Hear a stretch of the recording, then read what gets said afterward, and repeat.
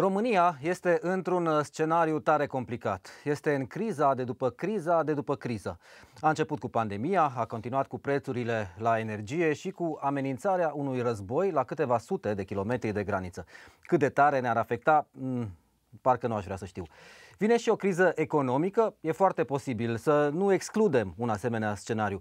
Noroc că nu mai avem și o criză politică, am depășit-o oarecum, sau ce spuneți? Că mai avem o astfel de criză?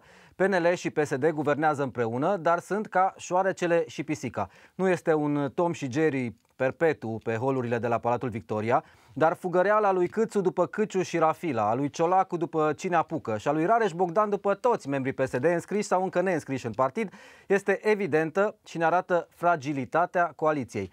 V-ați gândit ce s-ar întâmpla dacă premierul Ciucă, înainte de a-și da demisia pentru plagiat, ar remania un ministru social-democrat, pe modelul Vlad Voiculescu sau Stelian Ion?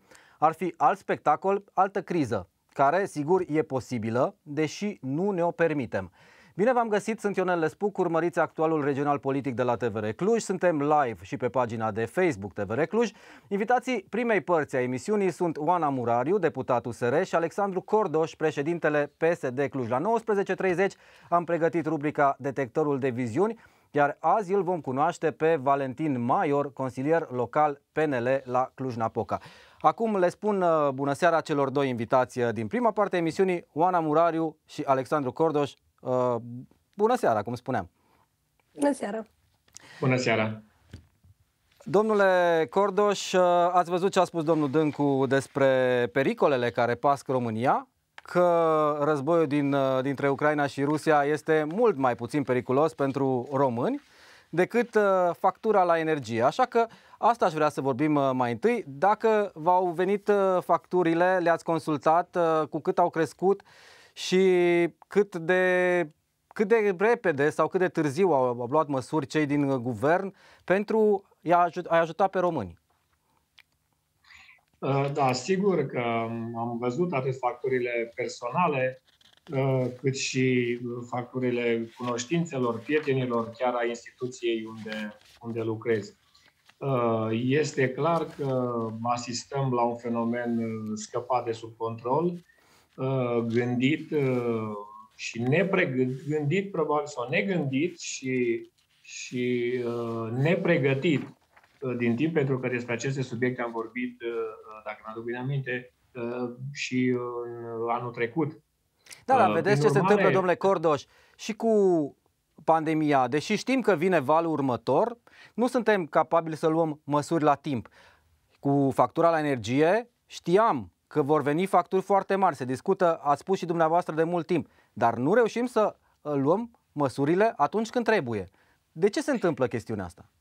Da, eu, eu cred că lucrurile s-au schimbat acum când vorbim, sau, mă rog, putem spune de fiecare dată că se schimbă. Uh, uh, dar pentru că nu avem și nu există o cultură a predictibilității, în primul rând, uh, pentru că uh, se tratează câteodată prea ușor uh, aceste situații importante. Dar revenind la, la creșterea prețurilor la energie electrică, la gaze naturale, cum vă spuneam, pe de o parte a fost nepregătită, pe altă parte a fost necontrolată, iar acum asistăm și la mari greșeli care nu știu dacă probabil o instituție sau instituțiile statului ne vor spune vreodată, după verificări, dacă au, a existat intenție uh, sau nu. Cert este că uh, de la, de la dublu, probabil la câteva ori, a crescut această, acest, acest consum. Aș vrea să vă spun că aceste lucruri uh, au fost scurte. De ce? În guvernarea precedentă, noi am, am propus prelungirea termenelor de, a liberalizării gazelor naturale până în martie 2022. Din păcate, uh, ultimul, penultimul guvern, nu actualul guvern, uh, guvernul anterior, uh, a, a hotărât să anuleze inclusiv taxa de 2%, inclusiv toate celelalte elemente care erau favorabile, în lipsa unei pregătiri și a ajuns la o suprapunere a liberalizării cu creșterea prețurilor și cu o iarnă. De ce nu am pus aceste lucruri în vară? De ce nu am pregătit populația? De ce nu am uh, luat toate acele măsuri, inclusiv era pregătită o lege care, sigur, acum foarte târziu a consumatorului uh, vulnerabil și era pregătit o, o linie de, de, de tranziție înspre această liberalizare, care sigur putem discuta cât este sau nu de, de, de, de, de firească în anumite uh, perioade și pe anumite elemente. Da, Oana Murariu, a venit factura?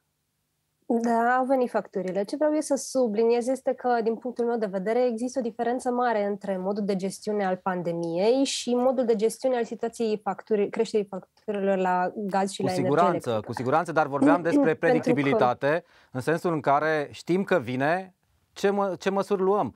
Că noi luăm măsuri după ce ne lovește valul, indiferent despre Corect. ce vorbim aici. Corect, dar acum, în cazul pandemiei, virusul tot suferă mutații și trebuie să te adaptezi pe moment. În schimb, în cazul uh, creșterii facturilor, se știa de liberalizarea pieței. Ministrul Energiei uh, chiar este și chem, va fi și chemat la ora guvernului de către USR, imediat ce începe sesiunea parlamentară. Trebuie să explice ce a făcut. Este de mult timp în uh, guvern ca ministrul al energiei și chiar e de dorit o stabilitate a ministrului, tocmai pentru ca să poată ceva. El trebuie să vină și să explice ce a făcut, pentru că nu se simte deci în momentul în care liberalizezi piața, știi că pot să existe astfel de consecințe. Și tocmai că ai timp să uh, le prevezi și să iei măsuri din timp. Și mai ales că ai stabilitate. Ei bine, acum noua coaliție majoritară, tocmai asta ne-a promis, că o să poată să ne asigure stabilitate și să gestioneze situațiile. Nu știu cum o să fie gestionate. Probabil vine vara și nu mai avem, uh, cel puțin în ceea ce privește căldură, nu mai avem nevoie de încălzire. Uh, și poate atunci o să vină și soluțiile. Noi, uh, cei de la USR, am propus în schimb o soluție care ar fi fost simplă și rapidă, uh, reducerea TVA-ului de la 19 la 5% pentru facturile de energie și de gaz, pentru că tot statul câștigă din creșterea prețurilor la energie și atunci statul își permite automat reducerea aceasta pentru a ajuta populația și se simte direct și e un, un procent care, așa cum spuneam, și în ceea ce privește uh, birocrația este mult mai simplu și și în ceea ce privește cuantum pe care românii să-l plătească. Uh, premierul Ciucă am observat că a, a, la un moment dat a avut tendința să se orienteze spre această soluție, nu știi din ce motiv, până la urmă a abandonat-o și tot bâșbâim, tot bâșbâim, vine vara și facturile rămân tot ridicate. Da, trebuie să înțeleg și eu de acolo, de la dumneavoastră, din mediul uh, politic, ce se întâmplă, pentru că am stabilit că lucrurile se știau și totuși nu s-au luat măsuri. Există o oarecare rea intenție sau există o oarecare incompetență? Sau uh, lăsăm lucrurile să se întâmple și reacționăm când e prea târziu, care tot la incompetență duce? Da, din ce văd eu, uh, sunt idei diferite și uh, foarte greu de mediat. Așa cum spuneam, noi am avut ideea cu reducerea TVA-ului, PSD are tot timpul ideea cu uh, plafonarea prețului, PNL-ul uh, oscilează între diferite variante și să pui efectiv actorii politici la masă și să se aleagă o soluție, uh, ajung, ajung foarte greu la această soluție. Poate când e prea târziu, poate uh, consecințele sunt foarte mici, pentru că au venit facturile oamenilor pentru uh, compensare și uh, s-a văzut, s-a simțit foarte puțin uh, în noua lege în, uh, în facturile românilor. Deci, practic, vin da, târziu Am reținut din ce a spus că se, le... se așează specialiștii la masă. Așa este sau se așează specialiștii sau politicienii? Politicienii discută fiecare cu specialiștii lor din partid, cu uh, cei cu care se consultă, Uh, și în final, bineînțeles, politicienii se așează și discută, dar evident, după ce s-au consultat, cel puțin asta am observat eu. Dacă îmi permiteți, poate pentru prima dată și vreau să fac, sau să încep cu, cu acest lucru, Partidul Social Democrat a intrat la guvernare tocmai pentru a, a impune, dacă vreți, sau a corecta aceste uh, derapaje și uh, aceste aspecte despre care, uh, negative despre care am vorbit. Uh, poate pentru prima dată s-a întâmplat și acest lucru legat de specialiști și politicieni. Uh, pot fi politicieni specialiști, pot fi doar politicieni care să apeleze la specialiști. În orice caz, împreună se vor lua aceste decizii, dar pentru prima dată, într-adevăr, specialiștii au pregătit și programul de guvernare, au discutat și de pandemie, au discutat de toate aceste lucruri și apoi au fost susținute pentru că până la urmă, vrem, nu vrem, fără politic, nu se pot susține aceste, aceste elemente. Sigur, uh, din păcate, uh, în cazul liberalizării uh, prețurilor la energie, în cazul creșterii acestor prețuri, Partidul Social Democrat s-a aflat ușor pe altă poziție decât Partidul Național Liberal, dar au, au ajuns cât de cât la o cale de mijloc Uh, nu s-a convenit în totalitate ceea ce a propus Partidul Social Democrat uh, și uh, s-a ajuns la, la prima, primul act normativ care a reușit în bună parte să, să oprească aceste creșteri, dar nu suficient. Iată că acum asistăm la, la noua reglementare, unde și aici noi insistăm mai mult pe, da, pe plafonare, într-adevăr, pentru că da, pe perioade limitată, tocmai din lipsa de pregătire acestei liberalizări. Da, pe o plafonare, pentru că, sigur, avantaje și dezavantaje, inclusiv cu reducerea TVA, și noi susținem și reducerea TVA. Însă, pe termen scurt, această plafonare vine să rezolve problema aproximativ 90% dintre consumatori din, din energia partea electrică. Însă, cred că aici, iarăși, nu ne-am, nu ne-am înțeles. Sigur, putem discuta iarăși pe drept foarte mult, dar ar fi trebuit ca această, uh, acest act normativ să, se, uh, să aibă efecte, uh, nu neapărat aș spune retroactiv, chiar dacă pare așa, ci și pe luna ianuarie, care va avea și luna ianuarie atât la persoane fizice, cât la persoane juridice sau la celelalte asociații sau, mă rog, școli, până la urmă va avea uh, urmări uh, catastrofale. Iar uh, principiul uh, neretroactivității legii e clar că este un principiu consfințit. Însă, în anumite situații, și el face, uh, face excepție. Cred că suntem într-o situație de excepție, într-o situație de forță majoră, într-o situație în care, pe termen limitat, uh, trebuie uh, cât mai, cât mai rapid să, să finalizăm aceste, aceste aspecte. Și sigur, aici sunt ușoare. Eu am observat că sunt mai mult, eu știu, cei care nu au, fără să arunc nicio săgeată spre nimeni, dar cei care nu au luat măsurile Uh, necesare în, în, în termenul cel puțin acum un an, acum un an jumate, uh, vin și să spunem nu sunt de acord uh, și vorbim mai mult de persoane decât de, de, de grupuri sau de partid politic. Și atunci aici ar trebui reglementat și eu sunt convins că Ministrul Energiei va răspunde în fața Parlamentului la întrebările care vor fi puse și cred că vor, va avea aceste, aceste întrebări pe, pe, pe în fața dânsului uh, și în care trebuie să răspundă. De ce nu a luat din timp? De ce uh, nu a fost pregătită această liberalizare? Și uh, de ce? Pentru că ați văzut și mari consumatori solicită, nu doar populația, nu doar Partidul Social Democrat. Noi nu o cerem pentru că vrem noi ca partid, ci în spatele Uh, solicitărilor noastre sunt pe lângă, uh, uh, pe lângă persoanele fizice. Cetățenii sunt micii și consumatorii medici și chiar mari consumatori care, în caz contrar, ar intra în, în, chiar în faliment. Da, să știți că s-a și observat, adică e vizibil cu ochiul liber, sunt companii care anunță că își vor închide porțile Uh, știm de Azo Mureș că nu mai funcționează pe timp de iarnă din cauza problemelor la energie. Nu știu ce fac uh, consumatorii casnici că nu pot să dea faliment. Adică, sau nu pot să închidă porțile ca Azomure să plece acasă, că ei acasă uh, consumă, nu-i așa? Uh, ordonanța de guvern spune că nimeni nu va plăti mai mult de 0,80 de lei kWh energie electrică și 0,31 lei kWh la gazele uh, naturale. Asta este o măsură care uh, e valabilă și se aplică între 1 februarie și 31 martie. Sigur, dar mai vine o iarnă, mai lucrurile vor continua. Dacă îmi permite și dacă mai permite doamna deputat, aș vrea să, să spun și următorul lucru. Pe lângă ce a spus dumneavoastră foarte corect, Uh, să știți că această plafonare vine și undeva furnizorii care, până la urmă, sunt uh, un, un, un monopol. Chiar în această perioadă au semnat contracte, au semnat acte adiționale cu niște valori înzecite uh, a, a celor plafonate. Și vin acum și uzează tot de uh, principiul uh, contractual, sau mă rog, principiul de, de, de baza contractuală pe care uh, instituțiile nu au avut încotro decât a fost, au fost nevoiți să semneze aceste acte adiționale. Oarecum sunt în afara legii. De aceea trebuie o reglementare cât mai clară, foarte, cât mai rapidă și uh, eu, eu insist uh, și colegii mei la Partidul Social Democrat uh, insistă pe, pe o reglementare inclusiv uh, pentru luna ianuarie. Chiar dacă suntem astăzi spre sfârșitul lunii ianuarie. Doamne Murariu? Da, acum se iau măsuri rapid. cresc facturile, uh, avem uh, mari și mici și mari consumatori, mai ales mari consumatori în, în mă rog, exemplu cu Azomuriș, de exemplu, în pericol, trebuie urgent să adoptăm măsuri, dăm ordonanțe de urgență peste ordonanțe de urgență și rezolvăm, sau încercăm cel puțin să rezolvăm temporar. Dar așa cum spuneați și dumneavoastră, sunt măsuri temporare. Până la iarna viitoare, este totuși o perioadă de timp în care să se poată gândi niște măsuri care să dea rezultate. Bine, vedem eșecul de până acum.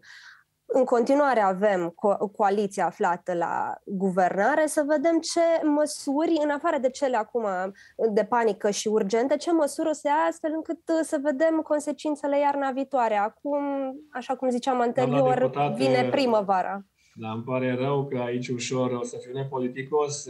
Aveți dreptate parțial, însă uh, n-aș vrea să-mi închipui ce s-ar fi întâmplat dacă s-ar fi continuat uh, uh, guvernarea cu vechea coaliție și cred că, nu știu cum am fi vorbit astăzi, într-adevăr sunt șovăieli, însă oricum situația este și sper să fie mult, mult, mult mai bună. De aceea sunt convins că, așa cum spuneți dumneavoastră, până în toamnă Uh, dar să rezolvăm situația de moment și uh, vom avea, nu trebuie să așteptăm până, până în toamnă, uh, pentru că din aprilie iarăși vom, vom intra în, pe, în, în procedura de liberalizare.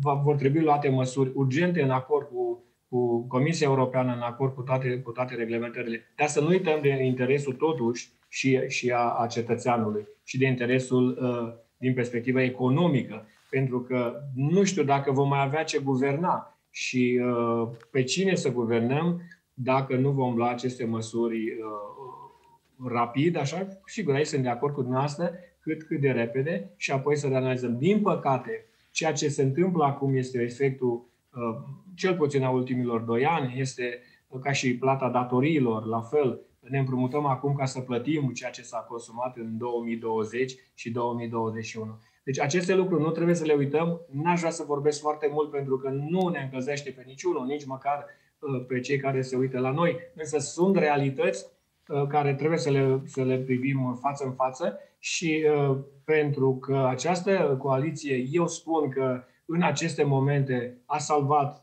și va salva România de la, de la, un, de la, de la un colaps generalizat, așa trebuie să, să, să, să, să acceptăm că pot fi și uh, mici, mici uh, pași mai mărunți decât ne-am fi așteptat. Un Hai. singur lucru aș dori să, da. să mai menționez, să nu uităm faptul că uh, situația în domeniul energetic în România de astăzi, care a dus la uh, aceste facturi mari pe care le simt toți românii, este, este consecința acțiunii partidelor aflate la guvernare în ultimii 30 de ani. Alternativ. Atât aș vrea să punctez. În ultimii 30 de ani, adică și USR, nu? Că a fost un an. Păi US, USR acum, în ultima perioadă doar. da, vreau doar să, să văd dacă asumă și USR ceva. Uh, haideți să schimbăm puțin uh, registrul. Avem o declarație a domnului Alexandru Rafila care spune așa, uh, cum spuneam, schimbăm registrul, trecem de la energie la pandemie. Aceste valori în jurul la 30.000 de cazuri probabil că vor fi înregistrate până sâmbătă. După care va urma o scădere undeva în jurul cifrei de 15-18.000 de cazuri pentru weekend. Apoi ne așteaptă o nouă creștere spectaculoasă. Cifrele cu 4 în față, și se referă la 40 de nu la 4.000, da? Uh, sunt, nu sunt excluse în această perioadă. Am vorbit de energie, n-am gestionat-o bine. Pandemia asta o, știm să o gestionăm? Cum vi se pare? Răspunde cine dorește mai întâi. Doamna uh, deputat, Da, o să încep eu. Mulțumesc. Ah, scuze, uh, scuze, trebuie să-i spun sănătate doamnei deputat care este în, da. în izolare acum tocmai din motive de COVID. Vă rog. Da, și e de subliniat că uh, am, sunt vaccinată, am o formă foarte ușoară, deci recomand tuturor uh, persoanelor vaccinarea uh, și mai subliniez și faptul că am fost foarte activă în toată perioada aceasta ca și parlamentar, m-am deplasat, am avut multe întâlniri și de-abia acum cu Omicron am reușit și eu să, a reușit în ghilimele, să am COVID. Deci, practic, Norocul contagiozitatea este foarte ridicată, atenție, oameni buni. Nu, e norocul dumneavoastră că, că ați așteptat până la valul ăsta al cincilea cu Omicron, pentru că înțeleg că infecția este mult mai ușoară, cazurile da, sunt da, mai da. legere. Da, confirm, confirm.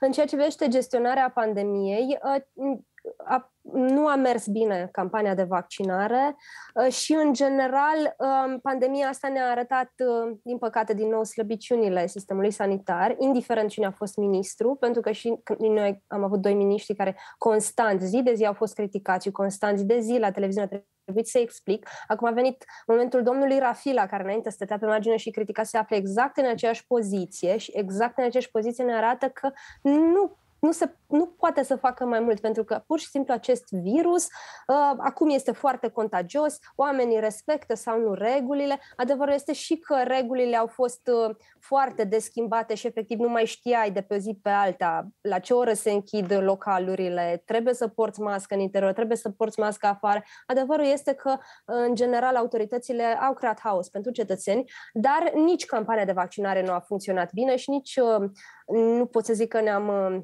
conformat noi foarte mult uh, din acest punct de vedere și consecința este că s-a umplut uh, paturile la ATI și miniștrii sănătății, indiferent care a fost numele acestora, pur și simplu nu au putut să facă față. Bine, din fericire nu s-au umplut paturile la, la ATI, cel puțin la, la Cluj, deși rata este dublă astăzi față Acum. de uh, vârful valului al patrulea, da, numărul uh, de cazuri internate și numărul de cazuri la ATI este mai mic, asta este uh, Uh, să mulțumim Omicronului, să mulțumim coronavirusului că s-a înmuiat un pic. Da, vă rog, domnule Cordoș.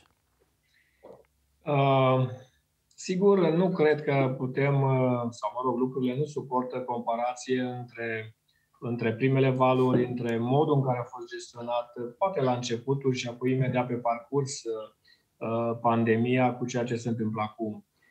Avem, într-adevăr, cazuri duble față de, de, de valul 4 însă avem uh, o, o rată de doar 10% a, a deceselor. Uh, ATI-urile nu sunt atât de, de, de încărcate. Uh, sigur, varianta Omicron este mult mai contagioasă, însă nu putem spune, s-a schimbat chiar paradigma, pentru că tot folosim acest, acest cuvânt. Ministrul Rafil a venit cu, cu, cu a-i face pe cetățenii parteneri. Eu zic că s-a comunicat mult mai bine testările s-au făcut, uh, am ajuns la 100 de mii de, de, de, de testări uh, în, în raport cu ceea ce s-a întâmplat, s-a întâmplat în, în, aceeași, în aceeași perioadă, în valul 4. Uh, deci nu putem vorbi de, de, de, această, de această variantă. Se, se tratează, s-au asigurat medicamente, s-a schimbat modul de abordare în sensul în care s-au introdus medicii de, de, de familie în toată această ecuație, s-au, s-au asigurat antivirale. Și nu în ultimul rând, uh, această testare totuși masivă uh, a dus la, la, la o gestionare, zic eu, mult, mult, mult, mult mai bine. Adică Domnule chiar Cordoș, nu suportă, nu suportă dați-mi voie, să, dați-mi voie să, să vă spun că dacă Omicron era la fel de virulent ca uh, tulpina anterioară, Delta, Delta da, Acum, despre domnul Rafila nu s-ar fi vorbit uh, deloc uh, la, într-un mod laudativ, pentru că s-ar fi transformat într-un procent mult mai mare de uh, decese. Este mai degrabă, suntem la mila virusului, care ne-a iertat. Exact. Eu nu aș, uh, nu aș spune neapărat acest lucru, nu cred, ci pur și simplu, încă o dată, cred că suntem mai bine organizați, cred că cei care gestionează uh, sunt mult mai uh, mai recomandați pentru acest lucru, care gestionează în acest moment și cred că măsurile și această schimbare, cum am spus, de atitudine a, a statului prin Ministerul Sănătății și nu numai, în raport cu cetățenii s-a, s-a schimbat. Cu siguranță că ar fi fost loc de, de mai bine, cu siguranță că unele măsuri ar fi trebuit poate luate mai, mai repede, dar dacă ne, ne uităm ceea ce se întâmplă în, să spunem așa, pe întreg mapamondul, putem să, să, să observăm că măsurile sunt, sunt diferite de la, de la caz la caz.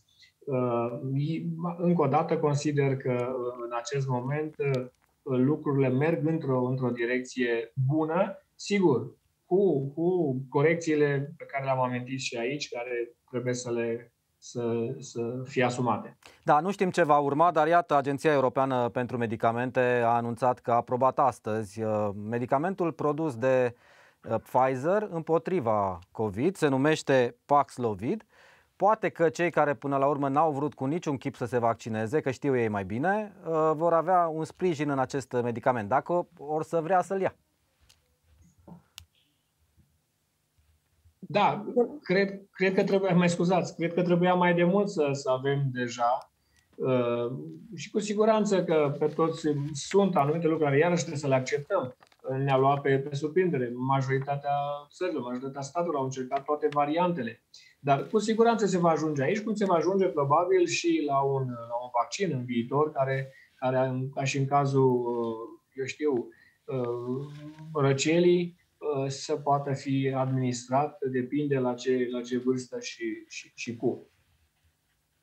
Da, aș putea spune că uh, dacă apar acum medicamentele, să ne gândim la cine e acum Ministrul Sănătății, pentru că așa a funcționat comunicarea în ultimele luni. Cine a fost Ministrul Sănătății, în funcție de ce se întâmpla, ori că ardea un spital, ori că uh, venea un nou medicament, uh, totul era în favoarea sau în defavoarea Ministrului Sănătății. Noi trebuie să vedem, să privim realitatea, să vedem cum funcționează campania de vaccinare, uh, cum simt oamenii îmbunătățind viața lor de zi cu zi, Um, în privința gestionării uh, coronavirusului, pentru că eu nu cred că cetățenii simt vreo diferență. Uh, așa cum ziceam, uh, Omicron este de o contagiozitate ridicată.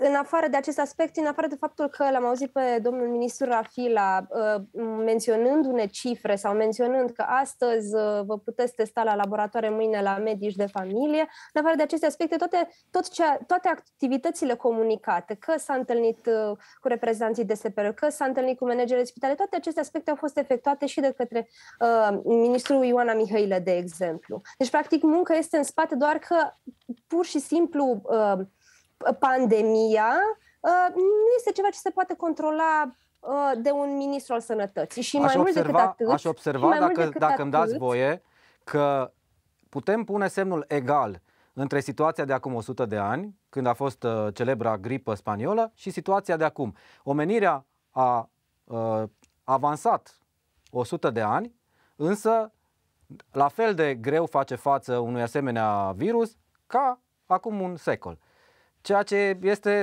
ne spune ceva despre felul ăsta în care am avansat, de fapt, foarte șovoielnic. În anumite Aici privințe, nu toate. O chestiune. Vreau să mai punctez o chestiune aici, pentru că ține foarte mult de constanța demersurilor noastre. Dacă ne propunem, vrem să facem asta pentru combaterea pandemiei, să o facem până la capăt. Și aici vreau să punctez, de exemplu, că ministrul Rafil a venit cu propunerea pentru certificat verde, nu l-a susținut partidul, s-a venit cu o altă propunere și tot așa mai departe. Deci cum să putem gestiona din moment ce uh, nu există de pe zi pe alta consecvență? Da, uh, mă rog, uh, sigur, fiecare o numim cum vrem. Uh, lipsa de consecvențe de care spuneți dumneavoastră, eu, eu numesc viziune și, și un alt tip de atitudine pentru că nu puteam încălca drepturile nici fundamentale ale omului pentru că se crea o discriminare. Nu este adevărat, sigur, profesorul Rafila a, a propus acest lucru, dar niciodată dânsul a nuanțat de fiecare dată acest lucru că ei sunt măsuri uh, pe o perioadă limitată. Apoi, uh, ce facem și ce spunem? Am a spus ministrul la fel că vor veni medicamente, vor veni la sfârșitul acestei săptămâni medicamente. Deci, uh, nici cu certificatul verde, nici cu celelalte modalități de, de, de realizare sau de gestionarea pandemiei, lucrurile nu se pot compara. N-aș vrea să folosesc cuvinte mari, dar să, să mă iertați. Chiar dacă situația primelor tulpini a fost mult mai Uh, sau, mă rog, uh, uh, consecințele au fost mult mai, mai dramatice. Însă, din păcate, au, au murit foarte mulți oameni atunci și, și în acele momente în care nu s-au, s-a văzut lipsa de viziune, de măsuri, de susținere și așa mai departe. Din potrivă, eu cred că aceste lucruri, cu toată blândețea actualei tulpini, nu se, nu se, nu se petrec și oricum, indiferent ce vom spune și vom da vina unii pe alții, Aici spuneați și dumneavoastră, doamna deputat, faptul că uh, oamenii simt sau nu simt. Uh, dumneavoastră spuneți că nu simt, eu vă spun că, că simt, se vede în societate, se, se vede în uh, luările de poziție și de atitudine ale, ale oamenilor. Cu toate astea, suntem departe uh, de a avea uh, ceea ce ne dorim, predictivitate, uh, consens. Încheiem cu asta, domnule Cordoș, cu faptul că vă asumați și o anumită autocritică, să spunem, Uh, pentru că evident că lucrurile sunt perfectibile permanent, dar și acum uh, în cazul acestui guvern care uh, se contrează în interiorul său, din păcate, cum spuneam în introul emisiunii, PNL contra PSD. Mulțumesc tare mult pentru prezență în emisiune. Oana Murariu, deputat USR și Alexandru Cordoș, președintele PSD Cluj. Mergem mai departe în această emisiune. Vă promiteam la 19.30 rubrica noastră, detectorul de viziuni. Vedem uh, genericul și după aceea intrăm în direct cu invitatul nostru.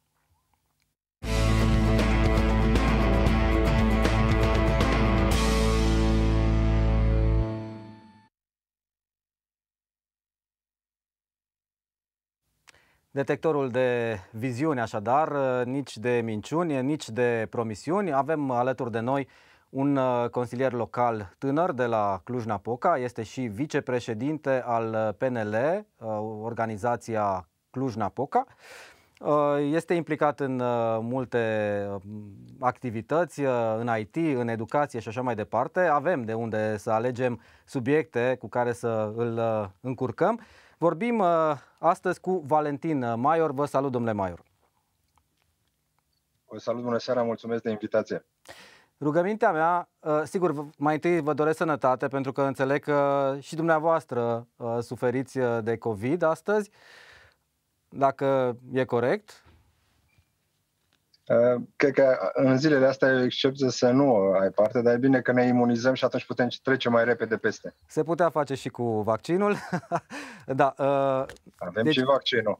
Conform, uh, da, conform desfășurătorului, uh, rugămintea este să vă faceți o scurtă prezentare, dincolo de ce am zis eu, într-un minut, două, să aflăm uh, cine sunteți, de unde veniți, unde mergeți, din punct de vedere politic, desigur. Absolut. În primul rând, ce mă descrie în principal este, înainte de a fi un politic, sunt un antreprenor din zona de IT, um, cu o pasiune foarte mare față de educație și tot ceea ce am învățat și am dezvoltat în zona antreprenorială am decis să aduc și să contribui la dezvoltarea și în mediul politic, mediul politic în care sunt implicat de câțiva ani, cum a zis, sunt în tânăr, uh, sunt în tânăr în mediul politic, uh, vicepreședintele al PNL Cluj-Napoca și consilier local, în momentul de față în parte din două comisii de specialitate și, bineînțeles, cu ochii atent puternic către uh, ce se întâmplă la nivel local în Cluj, dar și cu ochii la național. Bun, uh, acum uh, eu trebuie să vă pun într-o situație, să, vă, să, să vedem o viziune, dar mai întâi uh, am o întrebare de control. Care vi se pare că este starea și nivelul actual al educației? Pentru că, așa cum spuneam, sunteți implicați și în zona de educație. Știu că aveți um, o serie de inițiative în zona de educație antreprenorială a copiilor între 6 și 12 ani. Da, într-adevăr.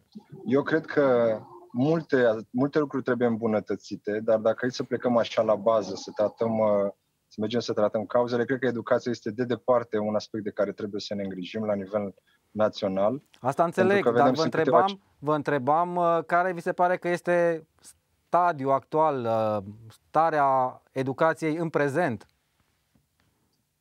Știm realitatea că sunt, nu suntem campion la educație, că avem câteva cifre care nu ne fac seamă, rata de absenteism și analfabetism, da, funcțional, dar uh, se, fac, se fac progrese, există și din mediul privat, după cum ați menționat, și am uh, ocazia și șansa de a lucra și de a contribui pe această zonă. Se fac progrese, am văzut că și la nivel legislativ uh, se, se avansează, se atașă acea lege de a se introduce anumite materii noi, de a se integra materii noi în zona asta. Deci trebuie un pic de răbdare, într-adevăr. Câteodată e greu să ai tot ai răbdare și să tot auzi să ai răbdare, dar uh, cu schimbări pe toate planurile, cred că și segmentul de, și un pic pus uh, poate mai mult sub focus, sub interes, cu mai mult, uh, cu mai mult buget alocat, poate ar, am putea să mișcăm mai bine. De fapt, cred că ar trebui să facem aceste lucruri, dar momentan luăm lucrurile așa cum și lucrăm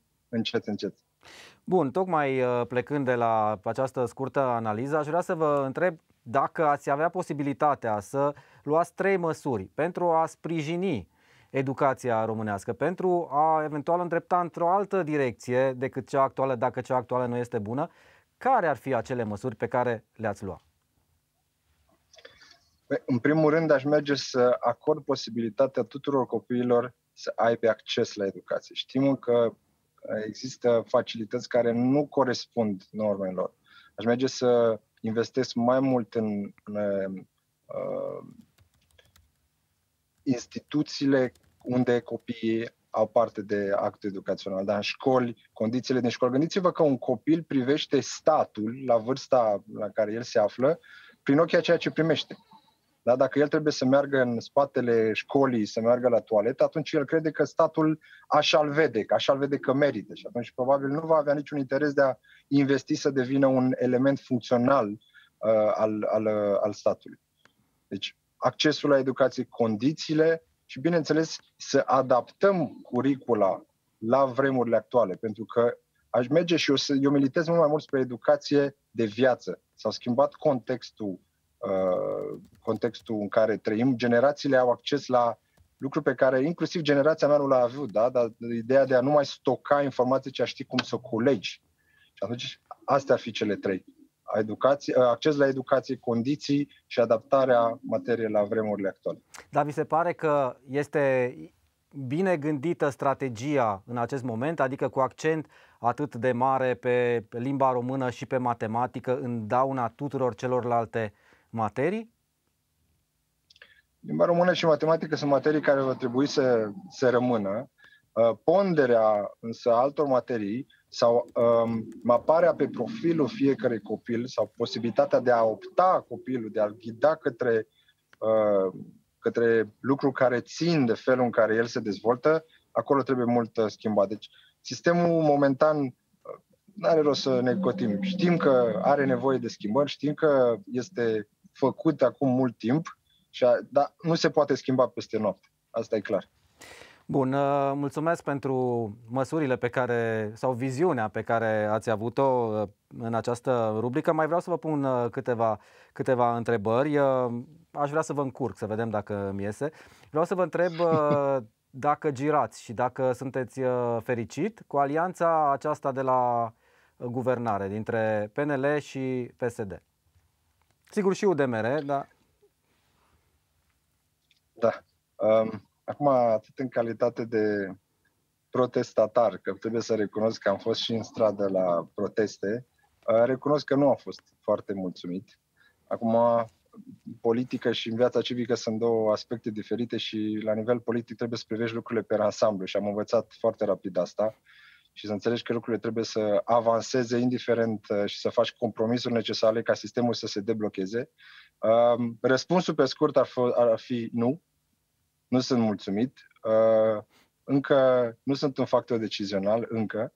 Așa că, pentru moment, uh, am răbdare, lucrez acolo unde mi-e locul, unde pot să fac, să îmbunătățesc lucrurile și să vin cu viziune și mă adaptez și încerc să fac lucrurile mai bine.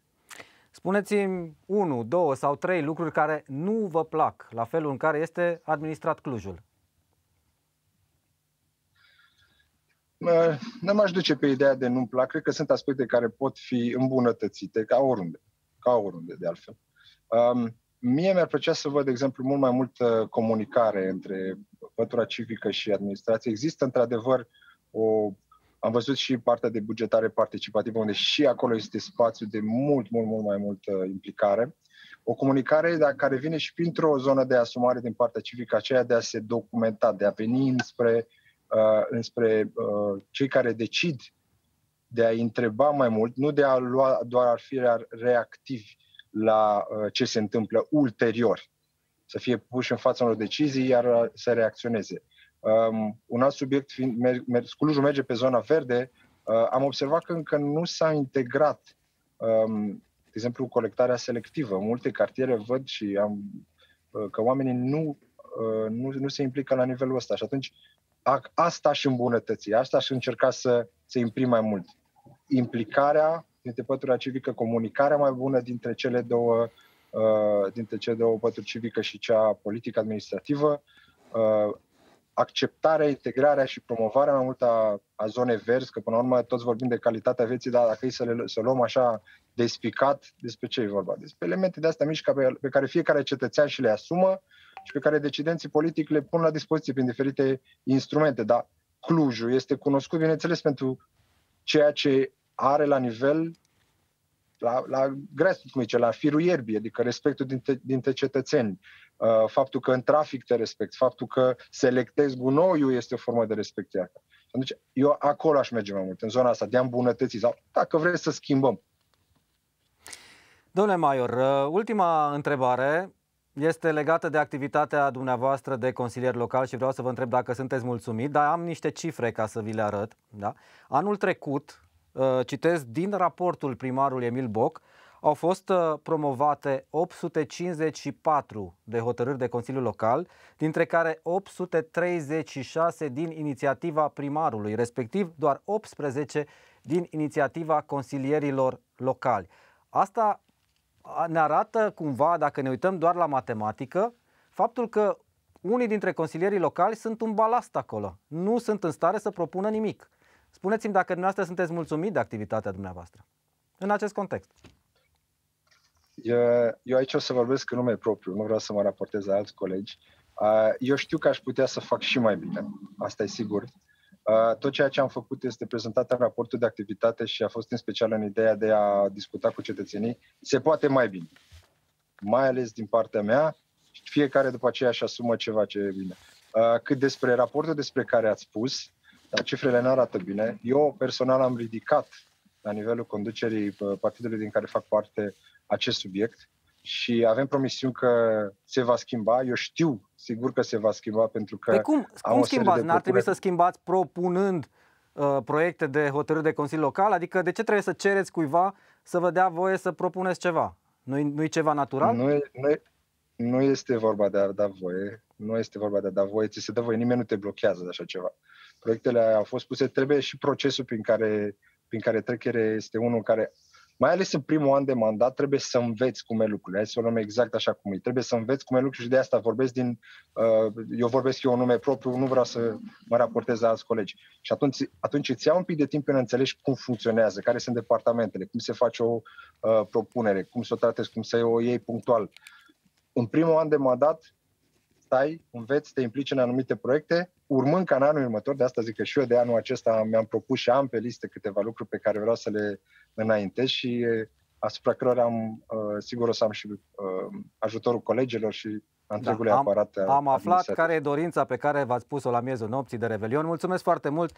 Valentin Maior a fost alături de noi, consilier local la Cluj-Napoca, de asemenea vicepreședinte al organizației Cluj-Napoca a PNL. Să-i dorim succes în activitatea domniei sale.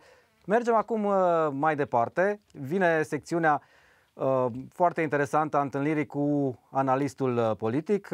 Astăzi este George Jiglău. Domnule Jiglău, mă bucur să vă am din nou alături de mine. Bună seara, mulțumesc de invitație.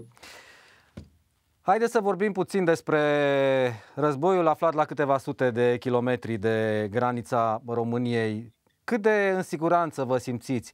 Cât de în siguranță ar trebui să se simtă românii cu ce i-ar putea afecta din punctul nostru de vedere? Știu că nu sunteți neapărat un analist de politică internațională, dar uh, pe de altă parte știu că o să aveți un răspuns la întrebarea asta. Competent. Da. Um, atât cât putem să ne dăm seama până la urmă mai mult sau mai puțin oricare dintre noi, dacă ne uităm la ceea ce se întâmplă în ultimele săptămâni. Um, lucrurile sunt destul de uh, incerte și spun asta în sensul că ar putea să se întâmple ceva oricând până la urmă. Uh, e clar că Rusia stă în, în stand-by acolo și uh, nu doar pentru noi sunt incerte. Am văzut că și Joe Biden însuși, care are vorba aia, mult mai multe informații decât avem oricare dintre noi și capacitate și aparat de analiză în jurul lui, e cam la fel de înceață decât ca, ca și noi ceilalți. Uh, ce cred totuși uh, legat de România? Și acum uh, nu o spun neapărat ca să liniștesc lumea care se uită la noi sau să fiu pozitiv de dragul de a fi așa optimist.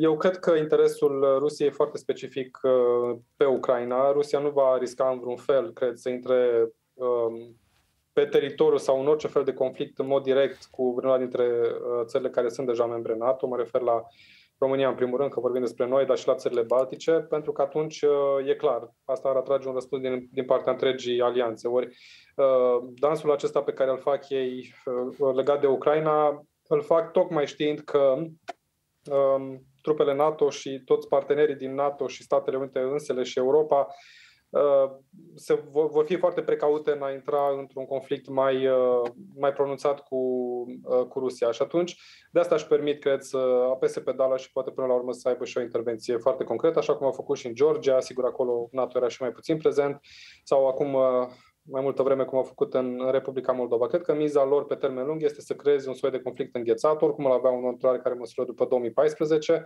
în așa fel încât să se asigure că Ucraina în viitorul, uh, hai să spunem pe termen scurt, mediu, de câteva zeci de ani nu va face vreo mișcare decisivă înspre uh, Occident, spre Europa, ca să intre într-o uh, sferă de influență de genul acesta. Deci să transforme oarecum Ucraina într-o, hai să spunem, într-un soi de Republica Moldova.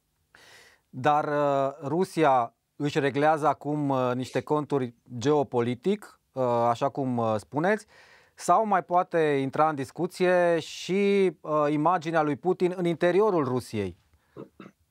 Cu siguranță că și asta joacă un, un rol important. Până la urmă, trebuie să conștientizăm că există un substrat politic, ideologic, naționalist foarte puternic la tot ceea ce se întâmplă acum, deși evident ne dovadă și imaginele pe care le avem Uh, acum uh, ne, ne concentrăm pe componenta militară pentru că asta ne uh, arde acum pe termen foarte scurt. Dar lucrurile astea s-au acumulat de, aș spune, nici măcar decenii, poate că de secole. Și încă din anii 90, după căderea URSS-ului, pe măsură ce Putin însuși a preluat din ce în ce mai mult puterea în Federația Rusă, această doctrină a unui popor în două țări a fost cât se poate declar uh, explicit formulată de către Putin însuși și cei care sunt în jurul lui și uh, construiesc acest substrat ideologic al acțiunilor lui. Și evident, cele două țări sunt Rusia și Ucraina. Da? Deci uh, ei văd poporul ucrainean ca fiind parte integrantă din, din poporul rus.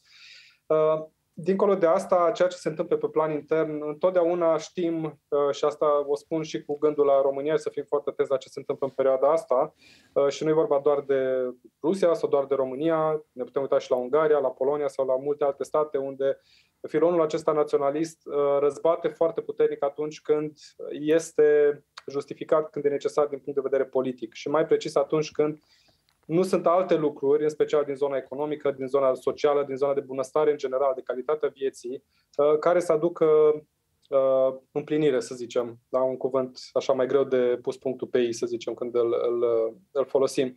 Și atunci trebuie să le dai oamenilor ceva. Rusia de ani buni se confruntă și iarăși uh, fac referire la 2014, precedentul conflict din Ucraina, unde Formal n-am avut parte uh, de o invazie a Rusiei, așa cum ne gândim că vom avea acum. Atunci a fost un conflict separatist. Uh, acești separatiști, evident, cu susținere puternică din partea Rusiei și la vremea aceea. Da, deci Rusia se confruntă deja de ceva vreme cu uh, o serie de sancțiuni care au afectat puternic economia. Niciunul dintre noi din exterior nu ne putem da, da seama. E firesc pentru un regim mai puțin democratic, ca să nu zic nedemocratic, să fie transparent din punctul acesta de vedere. Da? Deci să, să, să vedem în interior cât de afectată este populația din Rusia, care e nivelul lor de trai și cum aceste sancțiuni au afectat uh, ceea ce se întâmplă acolo. Și atunci trebuie să le dai oamenilor altceva și le dai discurs, le dai impresia uh, da, unei măreții, măreții care a trecut, care a fost furată și care va fi recăpătată. Despre asta este vorba și cred că bună parte din ceea ce vedem din acțiunile lui Putin, nu doar acum, și în trecut, uh, poate fi justificat și din punctul ăsta de vedere. Da, din câte știu eu, nivelul de trai din Rusia este sub cel din România în prezent. Da. Dar mă gândeam da. că discursul acesta despre care vorbeați uh, este valabil și în cazul unei țări mult mai mici, nu o să vreau să comentăm foarte mult, dar se întâmplă și în uh, Ungaria, înainte de alegerile de acolo din primăvara acestui an. Mă rog, uh, o să, o să discutăm despre asta, avem timp până la primăvară să discutăm ce se întâmplă și în uh, Ungaria. Aș uh, merge mai departe, nu știu dacă ați văzut astăzi, a fost un uh, sondaj în scop, pentru că vreau să revenim uh, pe piața politică internă, să discutăm puțin despre situația actuală, un uh, sondaj în scop care ne arată raportul de forțe cât o fi el de corect, uh, poate, poate uh, ajungem și în legătură cu acest lucru la o concluzie. PSD 34,4%, AUR 20,6%, PNL 16,6, USR 12,5, UDMR nu contează 4,2, nu contează în sensul în care sigur că are propriul bazin, uh, nu, nu concurează neapărat pe același culoar. Cum da, se cred că sondajul și în general sondajele trebuie luate destul de credibil, aș zice, dar întotdeauna ne putem pune problema legată de, nu știu, de eșantionare, de moment, de cine a dat comanda și așa mai departe. Dar cred că de sondajele marjă. reflectă, sigur, da, uh, dar cred că sondajele reflectă cam ce se întâmplă într-un anumit moment, în momentul în care sunt ele făcute și uh, specific legat de, hai să o luăm cu PSD și PNL, de când am avut această uh, coaliție din toamnă încoace, e clar că PSD are, uh, e vioara întâi când e vorba de comunicare din partea guvernului, nu-și mai contează cine e persoana prim-ministrului, aproape că domnul Ciucă nici nu acționează ca un premier al PNL-ului, da? e un prim-ministru și atât, ceea ce nu știu dacă e neapărat ceva rău, da? o spun ca pe un, ca, un- ca pe un fapt. Uh, În rest, uh, principalii vectori de imagine ai guvernului sunt din partea uh, PSD-ului. Oarecum firesc, suntem în continuare în mijlocul pandemiei, avem un val nou, domnul Rafila e normal să fie la televizor, Um, dar PNL pare că contează mai puțin. Nu ajută cu siguranță la uh, imaginea PNL-ului, inclusiv în sondaje, uh, faptul că Florin Câțu nu e foarte prezent sau dacă e prezent nu pare că îl bagă foarte mult lume în seamă, inclusiv propriul partid. Dacă Crin Antonescu ar mai fi uh, acum în uh, PNL, ar trebui să-și dea din nou demisia. Că ne amintim că el a zis că își dă demisia dacă partidul nu face 20%, iată, acum e la 16,6%. Da, da. Uh, sigur, e bine să aștepte alegerile, dar să nu se grăbească cu gesturi de genul acesta, dacă le prinde Florin Cățu în calitate de președinte al PNL. Uh, dincolo de PSD-PNL, deci cred că e oarecum firesc ceea ce vedem, raportul de forțe între cele două partide, ne uităm cu toții la aur, evident. Uh, cred că și aici e oarecum normal uh, ceea ce vedem, pentru că aur e într-o ofensivă de câteva săptămâni, poate chiar câteva luni, Iarăși, în contextul acesta al pandemiei, protestele cu care deja ne-am obișnuit, nici măcar asta nu cred că mai, mai face foarte multe puncte. Uh, protestele anti-vaccin, mască, COVID în general, orice putem să punem acolo. Uh, mă gândesc mai degrabă la acest, aceste demersuri al lui uh, George Simion, în special, de a merge la firul ierbii, de a încerca să fie mult mai prezent în comunități. Vedem într-un tur al României permanent. Dar are e foarte carismă, prezent pe internet. are carismă George Simion? Eu cred că are carisma acolo unde trebuie, unde își dorește să aibă carisma. Scopul AUR este, în primul rând, să-și mențină acea bază electorală apărută aparent uh, de nicăieri la alegerile precedente. Sigur că mai toți am fost luați prin, uh, prin surprindere, dar constatăm, dacă ne uităm un pic mai atent uh, în urmă, că e mai simplu, așa, retrospectiv, să, să constatăm că mugurii aceștia electoratului AUR erau bine prezenți în peisaj deja. Care și-au pierdut deci... tribunul în, în urmă cu 10 12 ani, nu mai știu când a murit Vadim Tudor, um, și l-au descoperit pe Simion. Eu cred că vorbim de un electorat și mai tânăr de atât. Și poate asta ar trebui să ridice oarece semne de întrebare. Nu cred că este exact același electorat al, al PRM-ului. Nu cred că e un electorat foarte îmbătrânit. Cred că, și s-a văzut asta de altfel, nici nu trebuie să, chiar dacă nu-mi vin acum cifrele în minte neapărat, dar când ne-am uitat la cine a votat cu aur în 2020, nu vorbeam despre un electorat foarte bătrân, vorbeam de un electorat urban, da, hai să spunem, destul de educat și destul de tânăr. Un electorat mai expus la discursuri de tip cosmopolit, mai expus la diversitate, cu toate acestea foarte dornic de a adera la genul acesta de discurs naționalist, care puternic identitar, care încearcă să atingă acea coardă sensibilă a fibrei naționale. Problema mea, totuși, și mai profund de atât, nu este neapărat cu această creștere a aurului. Cred că e oarecum firesc, cred că ar trebui să ne îngrijoreze mai degrabă noile inițiative pe care le promovează, nu că până la urmă toți putem fi vizați. Anul trecut era lista de intelectuali academici, în fine, care erau indezirabili pentru aur și electoratul propriu. Acum vedem că s-a ajuns la instituții de presă, probabil jurnaliști care vor apărea din nou pe astfel de liste. Astea sunt niște derapaje care ar trebui sancționate mult mai rapid, aș spune, inclusiv de către bresele profesionale ale jurnaliștilor care acum sunt direct vizați. Ce mă, mă deranjează poate și mai mult decât asta este faptul că dinspre partidele mari și dacă îți amintești, discutam noi acum câteva luni ce vor face PSD, PNL în situația în care aur crește. Vor încerca să se disocieze, să meargă cu undeva mai spre centru pe axa aceasta a valorilor a discursului naționalist sau se vor duce după electoratul pe care se tem să nu-l piardă. Și ceea ce vedem în această perioadă, mă tem că e scenariul negativ dintre cele două, și anume dorința aceasta de um, a se afișa în primul rând, da? pentru că mă gândesc la întâlnirea lui George Simion cu Emil Boc de la Cluj, uh, de a nu se dezice în mod categoric de astfel de discursuri care în niciun caz nu fac bine să fie în preajma ta niciunui politician care are ambiții, are aspirații, să zicem, în raport cu un discurs mai, cum să spunem, um, mai normal, mai, mai elevat până la urmă, da? care să fie mai puțin periculos George cum Jiglau, este cel al aurului. Se termină timpul. Din Uh, păcate. O să mai discutăm. Mai avem timp până la alegerile viitoare, o mulțime de emisiuni să discutăm despre evoluția partidelor a aurului sau a argintului. Mulțumesc foarte mult. uh, A fost alături de noi analistul mulțumesc și eu. politic George Jiglău. Aici se termină emisiunea noastră de astăzi. Vă mulțumesc pentru atenție. Eu sunt Ionel Lespuc. Salutul meu obișnuit, alege știința, alege să te vaccinezi. Toate cele bune. La revedere!